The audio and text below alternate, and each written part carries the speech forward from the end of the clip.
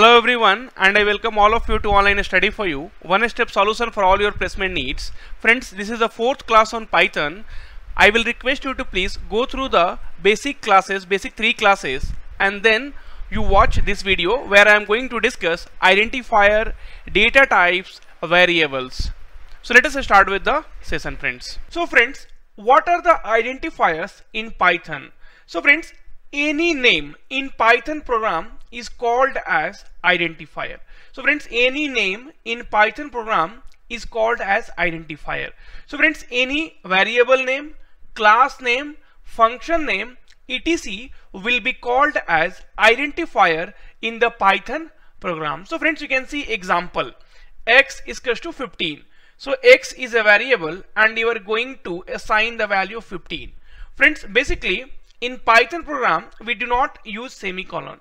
But if we use it also while assigning the value to the x variable, then also it will not have any impact. So x is equal to 15 and x is equal to 15 semicolon both is correct. Both syntax wise also it is correct. So we are going to assign 15 to the variable x. So friends, any name in the Python program is called as identifier. So here friends, x is nothing but a identifier. X is nothing but a identifier okay?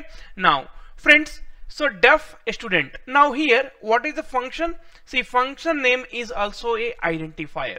So friends here you are defining a function which is nothing but a student. So friends here a student is nothing but a identifier. Here a student is nothing but a identifier. So friends so friends you please keep all those things in the mind because all these points are very very important when you are going for any interviews okay? So friends your function name variable name class name any name in python is called as a identifier. Now friends there are certain rules to define a identifier okay? So there are some certain rules to define the identifier because friends you cannot consider any symbol while defining the identifier. So let us understand what are the rules. So friends you can consider any alphabet any alphabet symbols. So a small letter a to z and friends uppercase also a to z. So lowercase and uppercase anything you can consider when you are choosing a identifier. Friends digits. So digits you can use 0 to 9 so you can use any digits from 0 to 9 in your identifier.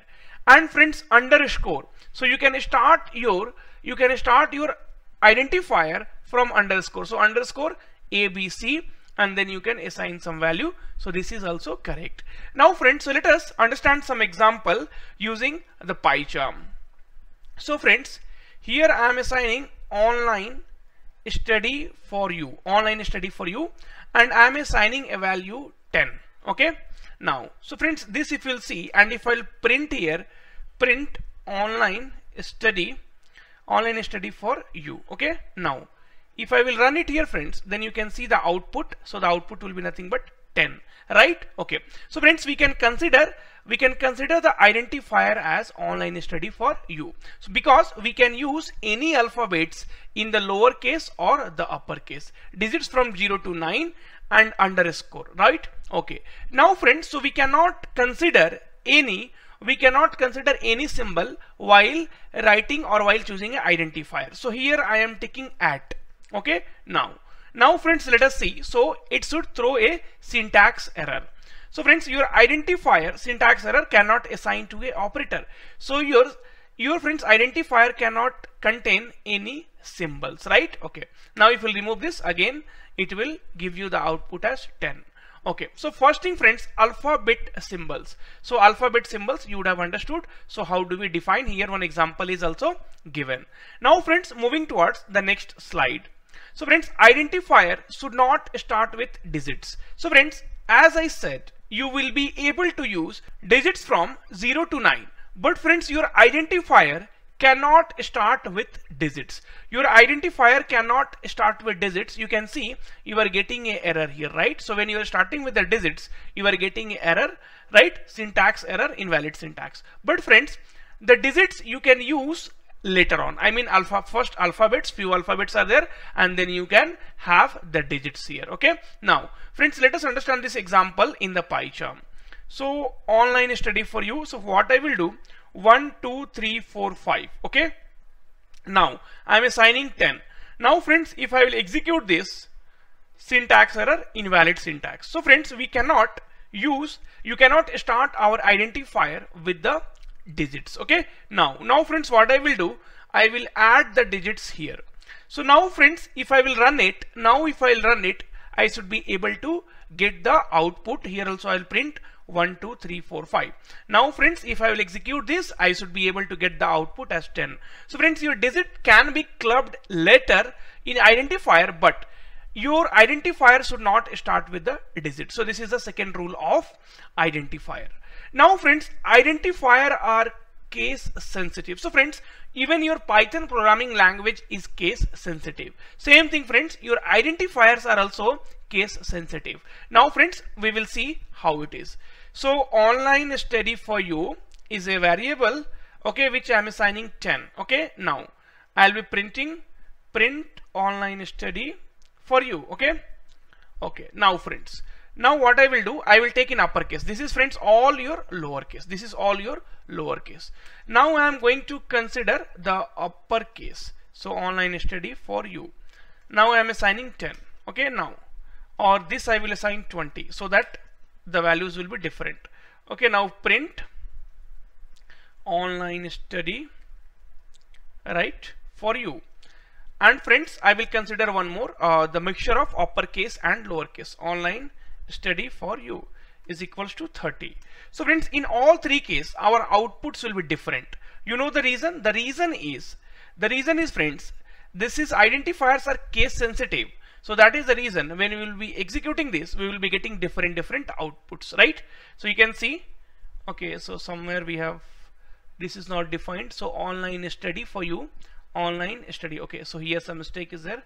So online study for you. Okay, now it is correct, right? Okay, now let us run. So you can see our outputs are 10, 20 and 30. So friends, it is case sensitive. Please do keep in mind.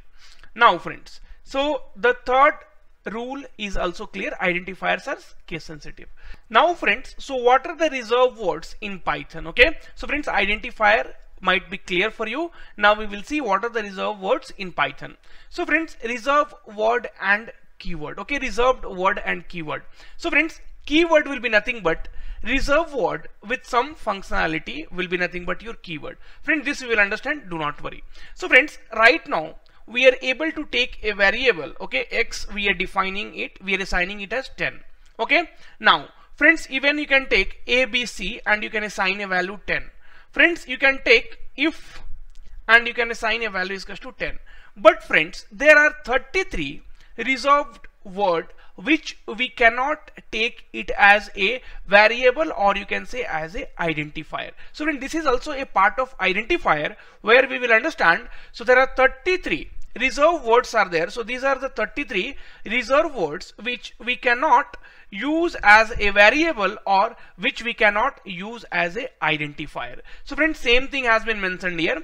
So reserved word and keyword. So friends what is the keyword so reserved word with some functionality will be nothing but your keyword example so friends if elif else for okay so friends these are the these are the reserved keyword when we will use it with some functionality. So if we have if, so friends, if condition will be there.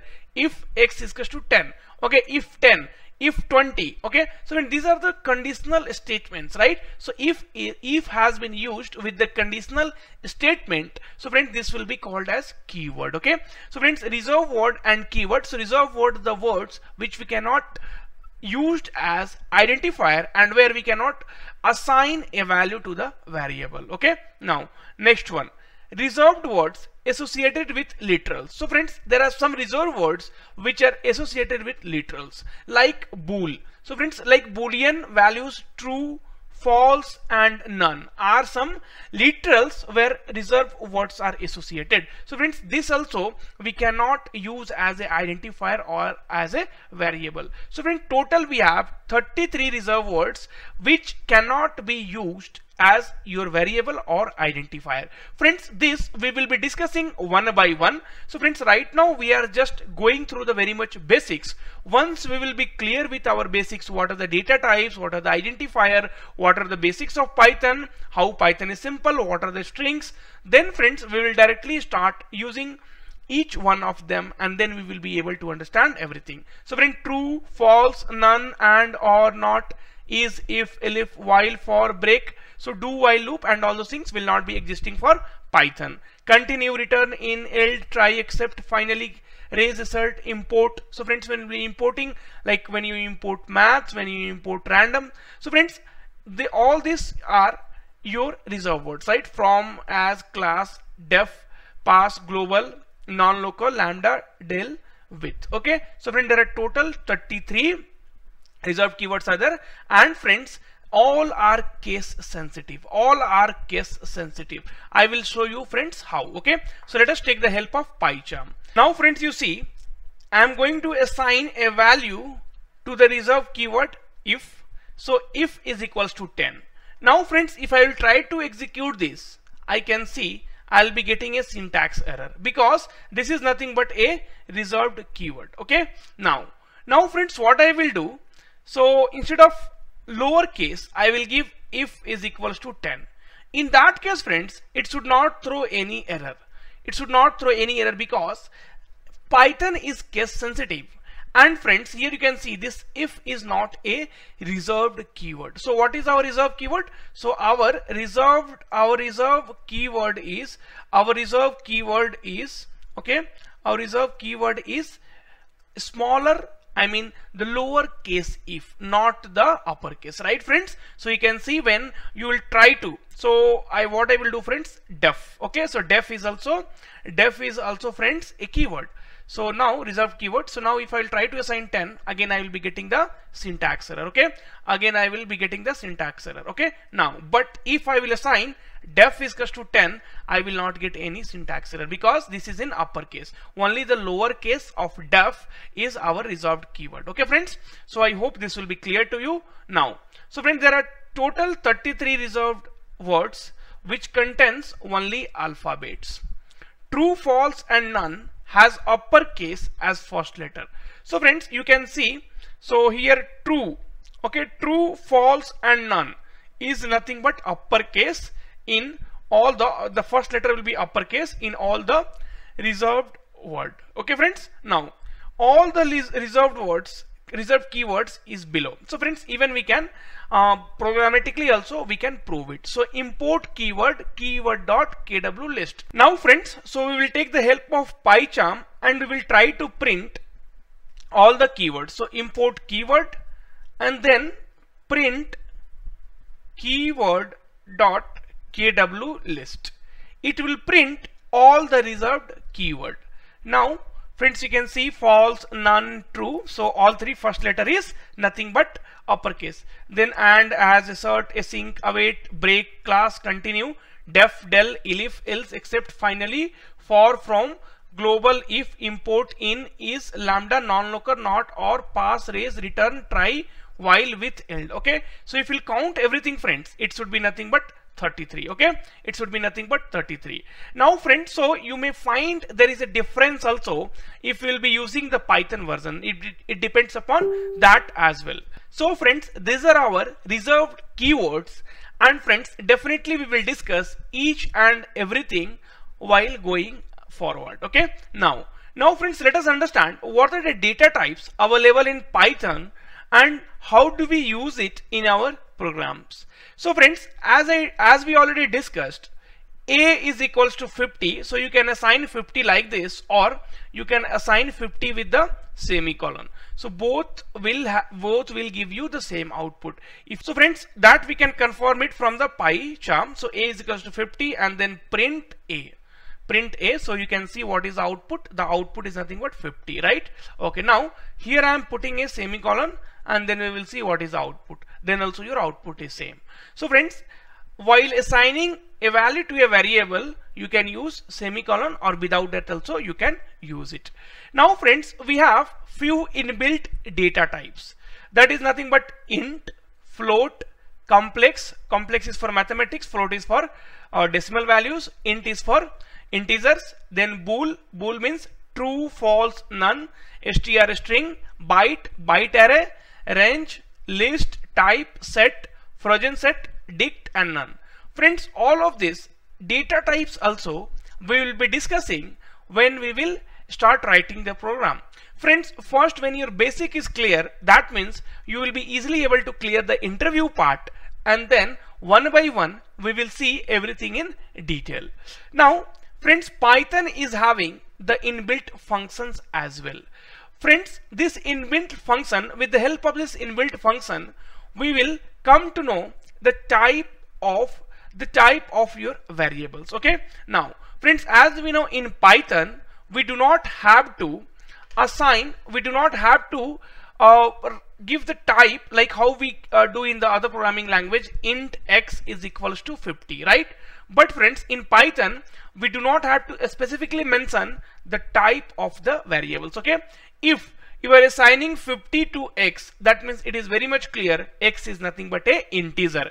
And friends we can come to know by using the function type. So let us see friends. So a is equals to what? 50 now friends so if i want to know the type of a then i will write print type of a. So it should be integer. It should be class. Class is what friends? It should be integer. Now if i am assigning 50.56 then we will come to know the type of we will come to know the type here is nothing but float. If I am assigning a boolean value a is equals to true then I will come to know the type as bool. So friends here in Python we do not have to uh, mention the types specifically. It is dynamically typed programming language right? Okay. I hope the type function will be clear. Now friends second inbuilt function is nothing but id now what is id so friends id will be telling you the address of the object in the memory okay? The address of the object in the memory and friends one more thing. In python everything is a object. In python everything is a object okay? And friends using the id function we will be able to know the real address in the memory. So friends a is equals to what i will do? I will assign a is equals to 10 now id of a. So friends print okay id of id of a. So we will be getting the address of a. So we can see the address is nothing but 1407 182 974 okay? So address of a in the memory will be this. So friends id will be giving you. So you can see friends so this value will be keep changing. It depends upon because friends everything is a object in python. So your memory will not be fixed. So memory will be you know keep differing. So friends here you can see the address of a is nothing but is nothing but we found out here 1 4 something right? Okay. So id will be giving you the address. Now friends print function. So print function prints already you know we have also used the print function here right? Okay? So print id of a. So print function means we can we will be easily able to print the value. So a is equals to 100 now i can print the value of a. Now i can print the value of a. So a will be nothing but 100 right? Okay. So print function is also clear to you. Now friends moving towards the next slide. So inbuilt functions in the python so friends, no long type in Python. So friends, as unlike other languages, here we do not have any long type. So friends, if if you are assigning the value of a, so a very bigger value also, that will be considered as that will be considered as. So I will what I will do, friends, I will uh, we will get to know the type of a. So the type of a will be still integer, not long. Okay. So unlike other programming language, we do not have long here. We have only integer, right? Okay.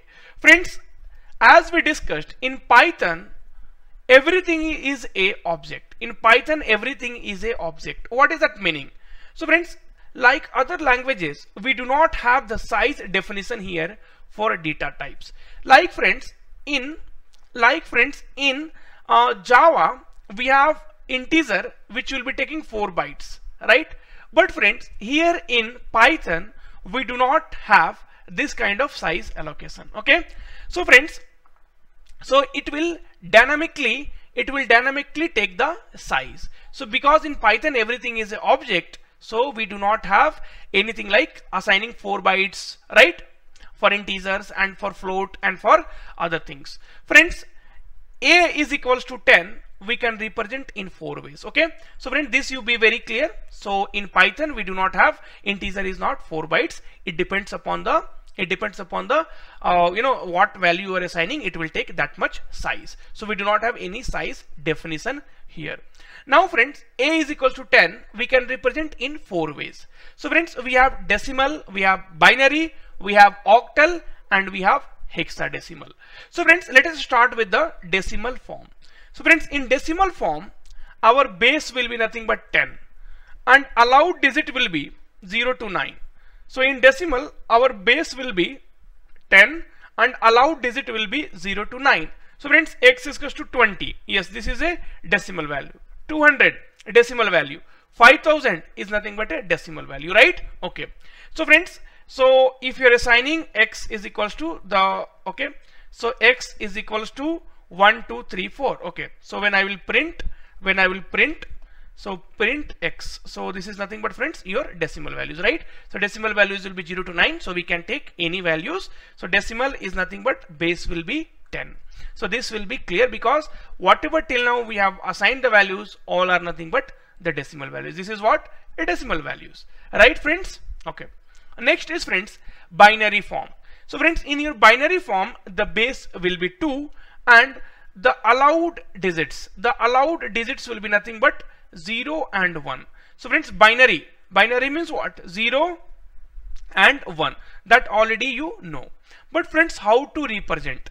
So friends 1101 friends this is a binary value right so because binary value the allowed values are only 0 and 1 so this is a, this is in the binary form. So for what decimal value this is of in you know this is in the binary form. So friends, you know so binary the base is nothing but 2. So this will be nothing but 2 to the power 0, here 2 to the power 1, here 2 to the power 2 and here 2 to the power 3. So 1 into 2 to the power 0 plus 0 into 2 to the power 1 plus 1 into 2 to the power 2 plus 1 into 2 to the power 3. So this will be 1 plus 0 plus 4 plus 8. 8 plus 5 is 13. So this is the binary value of 13. This is the binary value for 13, right? This is the binary value for 13. Now friends, so let us try to, let us try to print. So, and friends, one more thing. So here you can use A is equals to 0. So this is nothing but A is equals to 0, B 1101 or you can also use 0 small b that is lowercase 1101 both are true. Now so friends let us try to understand using the PyCharm so a is equals to 0 b 1101 okay now print. Now print a. So friends you can see what is the value of a. So the value of a is 13 so friends this binary value is for the value nothing but 13 okay? So friends you can see here the output has been also given. Okay? So is nothing but 13 which we have got it. So here you can see the output was already given. Now friends so if you will use if you'll use the uppercase of b then also you should be able to get the same value. So you can see 13 now friends what i am going to do here? So i am using here 2341 so friends, can you tell me what will what will happen here? Can you tell me what will happen here? So friends, here we are going to get a error. Why? Because your binary will be either 0 or 1. 0 and 1 has to be used in binary form. Now syntax error invalid token. Friends, we have used 2, 3, 4. That should not be used. Instead of that, you use 0, you will be able to get a value. So you can see this is the binary form of 1. So friends, I hope the binary form is clear. Now friends, we'll be moving towards octal form. So friends, octal form means the allowed digits, the allowed digits will be 0 to 7. Okay.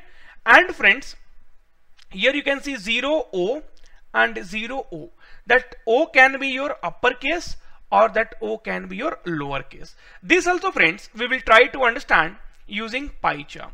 So what I will do uh, A is equals to 0 O okay? 0 to 7 right? 0 to 7 so 1 2 3 4 now print now print A. Friends if we'll print then we will be getting then we'll be getting the value is equal to 668 so this octal value this octal value correspond to 668 decimal value right? Okay. So friends here we have taken 0 2 to 1 so 0 0 2 to 1 and now we will see what will be the value. It should be 145 yes correct. So friends how can we say this is the octal value of 145 that also we will understand. Okay do not worry friends for everything logic is there. So for octal value friends it will start with 16 to the power uh, sorry 8 to the power 0 and then 8 to the power 1 and then 8 to the power 2 right? So 2 to 1 okay now friends so we can see 1 into 8 to the power 0 plus 2 into 8 to the power 1 plus 2 into 8 to the power 2 so 1 into 8 to the power 1 will be 1 plus 8 into 2 will be 16 plus 64 into 2 will be 128 and if we'll add everything 128 plus 17 will be 145 so here we can see friends 145 was the value. So this is in the octal form. Now friends if I use 899 here can you tell me what will happen? Can you tell me friends what will happen? So friends we are going to get a error. We are going to get a error because the allowed values in the octal form is only from 0 to 7. Friends, I hope each and every concept is getting clear to you. Now friends, moving towards the next hexadecimal.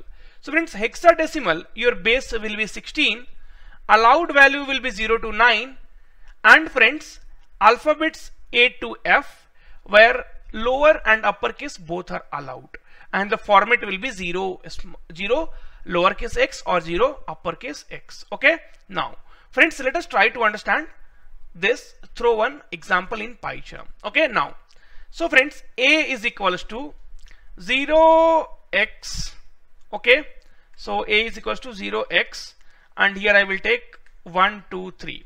Now, let us print.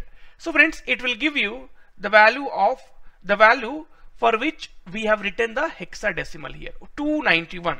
So friends, we can see 291 okay? 291 right? Okay and here it is what? Uh, we have taken 123 right? 0x 123 so friends if it is hexadecimal then 16 to the power 0 16 to the power 1 and 16 to the power 2 16 to the power 0 will be so 3 into 1 will be 3 plus 2 into 16 to the power 1 16 1 into 16 square 256 so friends 3 plus 32 plus 256 so 6 plus 2 is 8 plus 3 11. It will be nothing but 291. Yes, correct. So for 291, the hexadecimal value will be 0x123. Okay. Now, friends, even you can take ABC. ABC, so hexadecimal value, allowed value will be 0 to 9 digits and alphabets A to F. Okay. Now, so ABC, again I should not get any error, right? 2748. Friends, even you can consider the cap, the upper uh, letter ABC, then you can see uppercase 2748. Now, if I am taking GHI, friends, can you tell me what we will get? We will get error. Why? Because the alphabets from A to F is only allowed. Okay. Now, friends, so I hope the alphabets, right, in hexadecimal, binary, octal and decimal forms are clear to you. So these are the four ways in which 10 can be I mean the values can be represented okay so we have represented different different values in binary form decimal form octal form and hexadecimal form now friends we have the base conversion. So what is the base conversion? That also we will try to understand and that will be the end of your today's class. So friends base conversion. So we have the inbuilt function here bin oct and hex. Now friends, so if we have 14, so if we have a is equals to 14, so 14 is a decimal value here. And now if you want, if you want the binary form of 14, so what I will do a is equals to 14 okay now bin is the function. Okay so bin a. Now I want to print. So print okay now. So here we will print. So we'll print the binary we'll print the binary value of 14 you can see we are getting triple one zero. Okay now friends a is equals to 14 I want to print the octal value of 14 okay now so friends oct a. Now we can see. So in binary we have 0b triple one zero. In oct we have 0 o 16 and now if I want to print in hexadecimal format then the inbuilt function is hex hex a.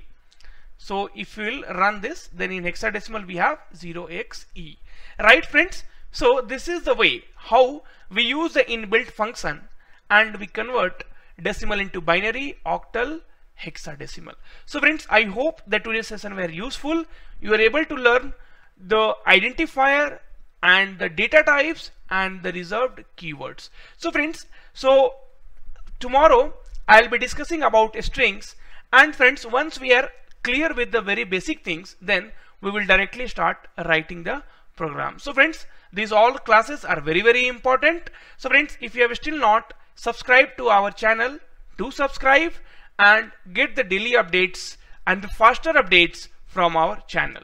Thank you. This is Pratik Srivastava here.